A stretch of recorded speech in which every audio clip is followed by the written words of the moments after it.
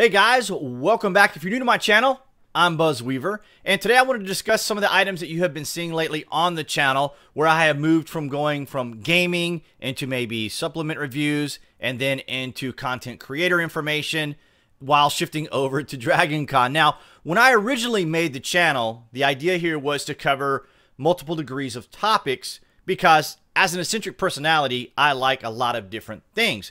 And I was hoping that as I were to cover these different elements and themes and or genres, I could still keep and maintain an audience that would still get their particular content. So how I got started was I had just finished firearm training school and I got in touch with my instructor as well as the owner of the gun range, store, and training facility to see if I could incorporate my interest in firearms as well as within gaming and then present a program where I introduced the real life weapons of Battlefield 3. It was a great community. The Battlefield 3 community welcomed me into their game, and it was a lot of fun covering it. A lot of interest, a lot of questions. So I had a lot of fun helping people, instructing people, and outlining to people what the real life weapons were about and how they were incorporated into games, tactics, and strategies of that nature. So at that point, once I had that particular audience, I wanted to introduce peripherals, for example, mice, headsets, other items that would be part of what gamers would use to then incorporate those elements into the Battlefield 3 community. And then shortly after all of that, playing the game, recording, and being part of that community, I decided that I wanted to make a shift to nootropics or smart drugs. I had been talking to a lot of people in the community of smart drugs, as well as being part of forums and other areas, contacting my physician and other people to just kind of get an understanding of what smart drugs was about at that particular time, as it was uh, mentioning a lot on college campuses. And I was just kind of interested in what all was taking place with those products. So around that point, I started going into more of the live recording. Like you see here, I'm not entirely set up for this type of format. This is just a webcam that you see me on right here. Of course, my studio microphone, which I do a lot of my recording on, which plays more of a key role. And I also have a T2i Canon, which you saw me shoot other live action type stuff, for example, at Dragon Con. So these were just kind of areas where I was kind of doing a little bit of experimentation to incorporate all of these particular interests that I had.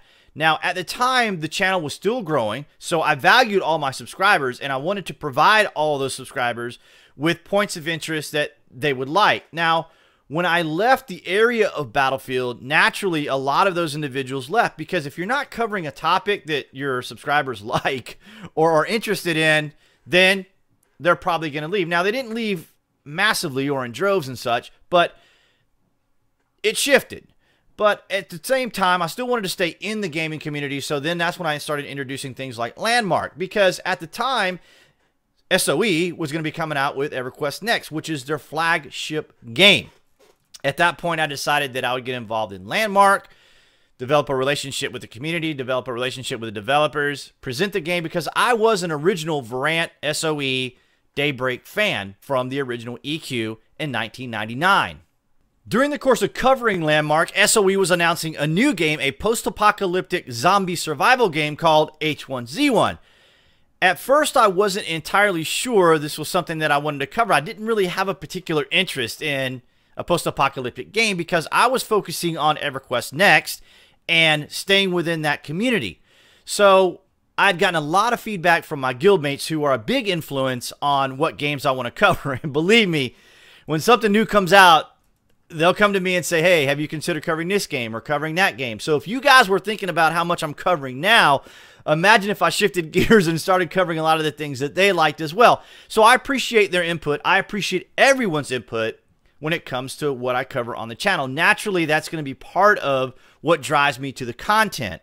So I decided that, okay, I'll cover H1Z1. I'll check it out because it is a Daybreak game and it's a newer community for me to introduce myself to and become familiar with this side of Daybreak.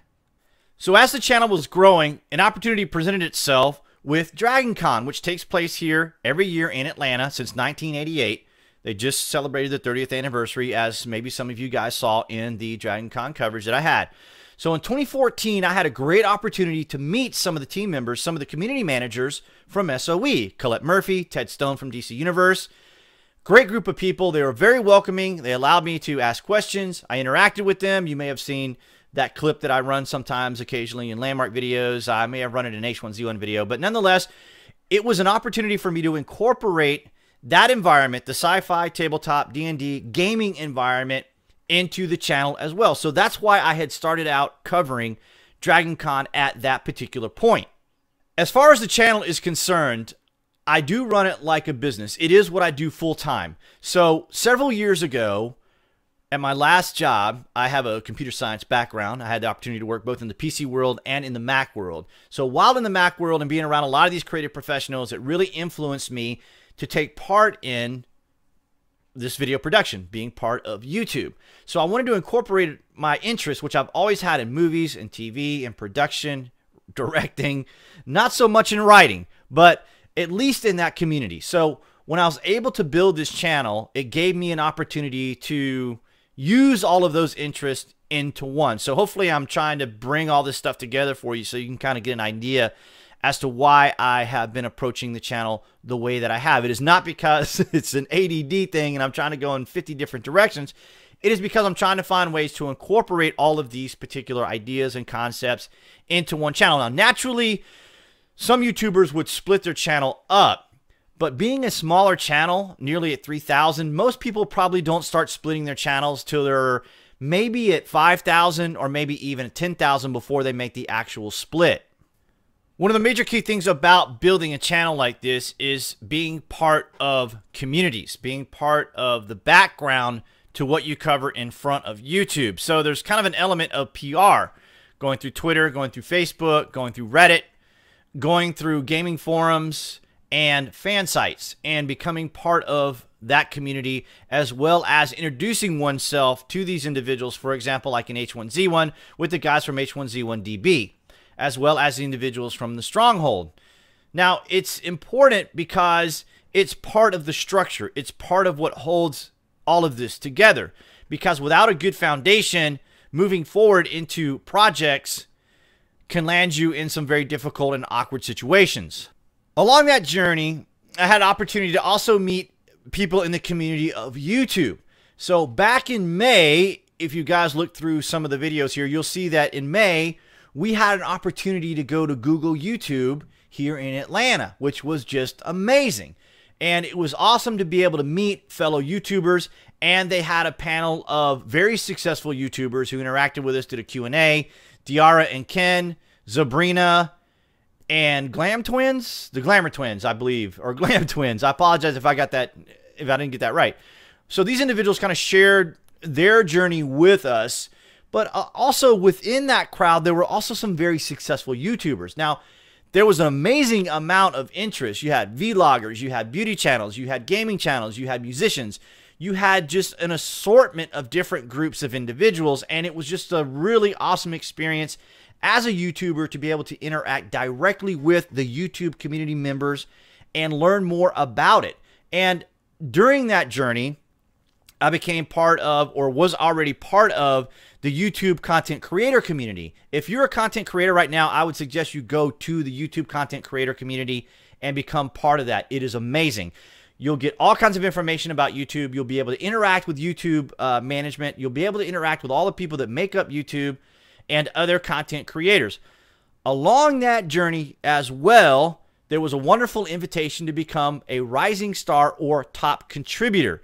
So, two weeks ago, I had a meeting with an individual from the community, and it was just really amazing, invigorating, awesome to be part of and be included within the community of Google and YouTube. So, that was another part that was really exciting about the channel, and that's why you're seeing a lot of those content creator how to videos we get to tying it all together. So it comes down to now the style and presentation of the channel.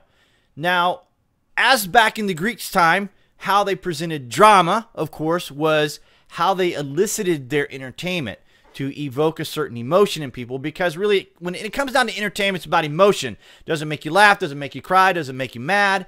Does it elicit some sort of uh, enlightenment on whatever topic that's being covered in some form of entertainment. So here on YouTube, it's going to vary by individual. There's all sorts of individuals that come to YouTube, whether it's gaming, whether it's beauty channels, whether it's, man, the interest on YouTube is just phenomenally diverse. So, what you may have seen lately, and I'm kind of going off topic of what I'm discussing here on style, and that is there's kind of a flavor of the month sometimes when it comes to YouTube. Like you'll have the challenge videos and the prank videos, and and suddenly drama channels became really popular and you had individuals kind of imitating individuals like Leafy and Scarce and Keemstar kind of thing, th- th- those kind of channels. And as part of the development, as part of me growing as a channel, I watch all kinds of different channels, all sorts of them, to kind of learn how these individuals interact with the community, what they present, their style. There's a lot of work behind this stuff. There really is. And if you've ever had an opportunity to try it, I would say give it a shot, see what you think, because what it's going to do is it's going to give you a greater appreciation for what you see these content creators make. When it comes to personal style, my presentation isn't necessarily one that may particularly interest certain groups of individuals. I try to be professional with my approach. That's typically how people describe the channel. I, I don't say that I actually go in with a mindset of being super professional because I, I want it to be lighthearted. I want it, I wanted to have, uh, you know, to be fun for people to watch the videos and not be some stringent school professor dictatorial type thing. I want it to be fun for the environment. Now, granted, I know that people want to see funny videos when it comes to H1Z1, uh, the bugs, you know, what's going on with the game, but kind of like behind these kind of scenes, you know. And of course, everybody wants particular levels of opinion dialogue. What do I think about the game? Well, you know, actually, what do I really think about the game? What do I think about the developers and that sort of thing? So, but I really try to keep it within that parameter, if you will. So I don't really like try to be too influential with myself, like what my particular interests are for the game.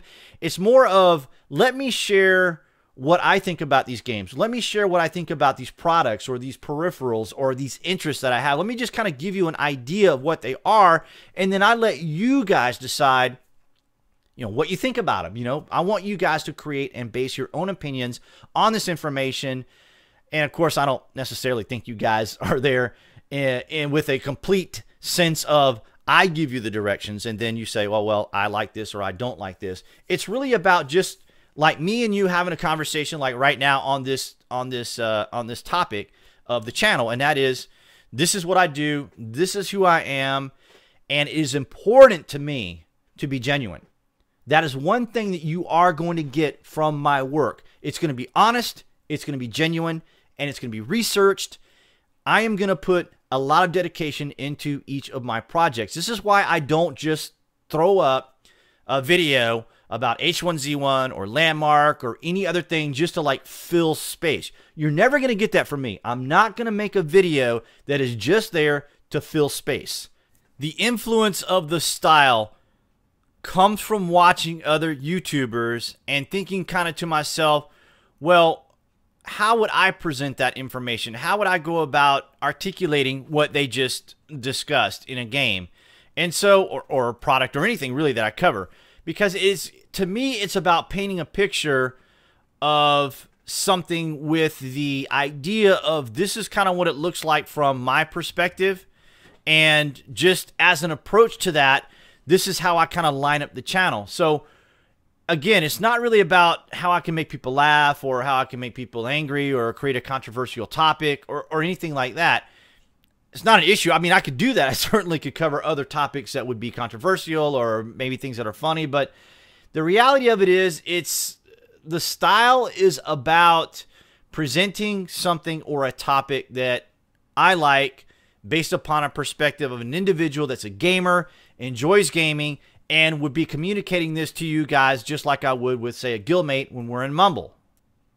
Direction. Where is the channel going? And this is something that I really want to share with you guys because there's just a lot of opportunities right now when it comes to being part of the Google YouTube community. And that is when I was at the creator community event, there was a lot of creators that I met there, and these individuals have been asking me for quite some time since then to collaborate and do some things together, whether it's gaming or other things. And I tried to find topics that we could cover. So, say for example, if I invite a beauty channel person onto the channel, then we would discuss certain things about you know what it's like to to run that particular channel, what it's like for me to run the channel, or things and techniques that we may do and incorporate. Then of course there's vloggers and there's other gamers and there's just individuals out there that have similar interests. And then when I went to DragonCon, I met some other YouTubers there as well who would also like to collaborate. So it's something I would like to do as as part of the channel and I don't really want to split you guys up. I don't want to split up the the audience into different factions or groups because I want to be able to give you guys the same quality level of entertainment and enjoyment you guys get from when I cover H1Z1. And as far as gaming is concerned here as we in that area, uh, I am looking forward to covering Civilization 6, which is a turn-based strategy game. I've always been a fan of Civilization for a long time. And to be able to bring that to the channel is going to be really a lot of fun. So, what you can probably expect, and, and, I would like to get some of your guys' feedback on this too, because I, I really do want to become more part of the community as far as like other YouTubers, you know, doing these collaborations and, and communicating with people and also helping people with their channel. Because again, not only is it about gaming, it's also about instruction and how to's and, and, and getting an idea of what it's like to get into YouTube because this is what I do now. And you guys have been a huge part of the success of the channel. It has allowed me to do other areas of things. For example, join the affiliation with Amazon. At this time, I really don't have the, the volume of people to really get into sponsorships. So you guys have been a big part of that by participating on the channel, at least those who aren't running ad block. All right, as far as I'll go into that, okay? So now, of course, there are uh, options for individuals to donate to the channel, and I'm not going to openly uh, tell individuals to donate to the channel and so forth. I mean, it's really up to you guys. I mean, if you guys want to participate in that, it does help. I do appreciate it greatly when you guys participate at that level because it allows me to make purchases of products that I can cover on the channel, which I've not done a lot lately because the direction of the channel and things have gone into other directions and for other things for me to do. So being part of uh, the Amazon affiliate program was a lot of fun. It's interesting. And being part of any business will have its challenges. So you guys make a huge part of that possible. For example, how you guys help me is – for example, when I get my press passes, um, you know, the traffic, the volume, the what they call the distribution. How many people come to your channel? How many people? So if you guys are curious, I average about a thousand views a day on average. I average anywhere from two to six subscribers per day. So you guys are fantastic. You guys are sharing the content. You guys are telling your friends. You guys are being uh, really, really active. And I'm really happy that you guys are doing that. Thank you very much for doing that. Really, honestly, it's something that I think YouTubers don't always go into because it's sometimes as YouTubers we can get very preoccupied with our brand, with our product, you know, who we are, what we are. Let me show you this. Let me show you that. This is what I'm going to do today. And the audience kind of becomes a a third party, kind of a voyeuristic standpoint. You know, oh, these people are watching me do this, and that's cool. But if it wasn't for the subscribers, if it wasn't for you guys, these channels would not continue to succeed because it is about what we do uh, as YouTubers to make sure that you guys stay engaged and that we are upfront with you guys and present who we are to you. And that's what I'm trying to do here as well. And that is to give you who I am, what I am about in the course of direction. Beginning to wrap all this up for you guys, so the direction is going to be I do plan on pursuing Civilization 6. And I want to try to find some platform in which I can incorporate these other YouTubers. Now, people have been asking me about uh, Pantheon Rise of the Fallen game. And that's something that I've had there. You know, it's kind of that's kind of been like the filler for EverQuest Next, that MMO style. Uh, Brad McQuaid, who was one of the original individuals from Verant back there with uh, Smedley. And so uh, I kind of I kind of want to present that game as well. So I'm just kind of curious how that's going to be. But uh, there's really not well. There's certain things going on with that game right now, and it's just really not anything I can present to you other than what you've already seen with Pantheon. So that so Pantheon is kind of maybe a little bit further down the road. But for right now, um, I want to try to find a platform in which I can introduce these other YouTubers because I want to, you know, I like the YouTube community. I, I do. I, I, like what you guys do as a community in the gaming environment and stuff. And I also like uh, the individuals in, in the YouTube community. So I want to kind of meld those together. And then there's occasional individuals that are that are still hanging in there, you know, from from my supplement reviews and and from uh, my how-tos and peripheral reviews. And and I love to hear from the guys that that are having issues with Logitech or or their Razer products and stuff, and and getting engaged with those individuals and helping them by producing videos on how they can fix these driver issues or other issues that they may be experiencing with the products. So that's kind of how the channel kind of culminates. That's kind of how everything kind of works hearing it from me directly. So they're there for reasons. I mean, so and and people ask me about that. Obviously, just recently, someone was asking me, "Hey, Buzz, you know, you're kind of going off in these other directions. What's going on?" So, I, hopefully, I was able to, to, to bring you guys, uh, include you guys into this into this process. And again, thank you for everything you guys do to make all this possible. It's it's very exciting. It's very fun. I enjoy what I'm doing. And let me ask you this: uh, Do you like this this type of interaction right here? Because it just I feel very self conscious about doing this, as I like being behind the camera, not in front of it. But I just felt that you guys deserved this right here, this right now, because you needed to hear from me what I was doing, you know what my mindset is and i just you know i'm very enthusiastic about my channel i'm very enthusiastic about how it's growing and where it's going and you know it, and you guys are a part of it, so I felt it was necessary to include you guys in there. So, if you haven't already, follow me on Twitter. Subscribe to the channel if you haven't already. If you're a frequent visitor, you hear me say that often. And uh, thank you, guys, for everything you do to make this all possible. I appreciate it greatly.